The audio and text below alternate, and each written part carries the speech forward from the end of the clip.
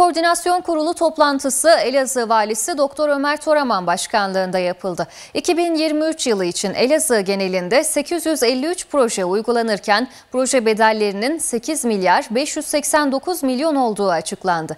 Vali Ömer Toraman yaşanan depremler sonrasında Elazığ'da yapılan hasar tespit çalışmaları hakkında da bilgi verdi. İl Koordinasyon Kurulu toplantısı Elazığ Valisi Ömer Toraman başkanlığında özel idare toplantı salonunda yapıldı. Toplantıya kurum müdürleri, ilçe belediye başkanları katıldı. Elazığ Valisi Doktor Ömer Toraman, 6 Şubat'ta yaşanan depremler sonrasında kent genelinde yapılan hasar tespit çalışmaları hakkında bilgi verdi. Toraman, itiraz dilekçeleri sonrasında çalışmaların devam ettiğini belirterek 28.677 itiraz dilekçesi verildiğini söyledi. 28.677 tane itiraz dilekçesi aldık. Yani 14 Mart'tan 14 Nisan tarihine kadar geçen 30 günlük sürede 28.677 tane itiraz dilekçesi aldık.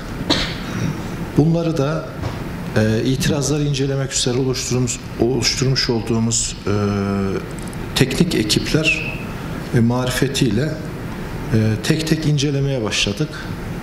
Süreç şu an itibariyle itirazların incelenmesi süreci devam ediyor. Ee, arkadaşlarımız e, bugüne kadar 6851 e, başvuruyu neticelendirmişler. E, kalan itirazları da e, 49 ekiple ve 98 personel eliyle e, incelemeye devam ediyorlar.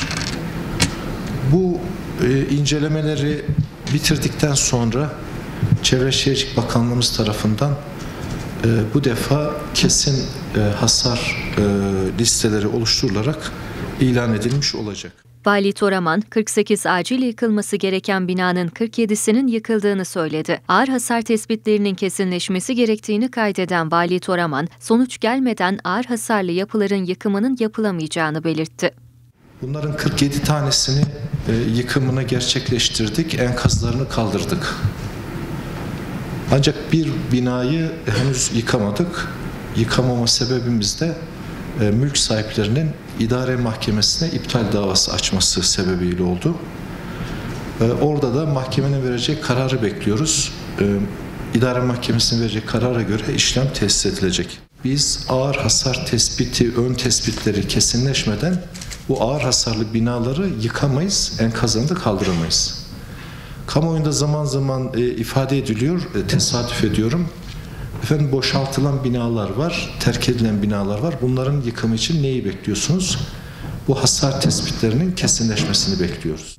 Toraman, Elazığ genelinde ön hasar tespit çalışmalarında ağır hasarlı tespit edilen bina sayısını da açıkladı. E, ilimiz genelinde ön hasar tespit neticesinde ağır hasarlı bina sayımız 7446. Bunların kaçının kesinleşeceğini bilemiyoruz. Süreç tamamlanında netleşmiş olacak. E, ona göre de e, yıkım ve enkaz kalım işlemi devam edecek. Toplantı 2023 yılında Elazığ genelinde uygulanacak kamu yatırımları ve proje bedellerinin açıklanmasıyla devam etti. Elazığ ilimizde 2023 yılı kamu yatırımı olarak 853 toplam proje uygulanmaktadır. Bu projelerin toplam bedeli 18 milyar 589 milyon TL'dir. Bu projeler 4 milyar 450 milyon TL yıl ödemeğinden 830 milyon TL harcama yapılmış olup yıla harcama oranı %18,65'tir. Vali Ömer Toraman başkanlığında toplanan İl Koordinasyon Kurulu toplantısı kurum müdürlerinin briefing vermesiyle sona erdi.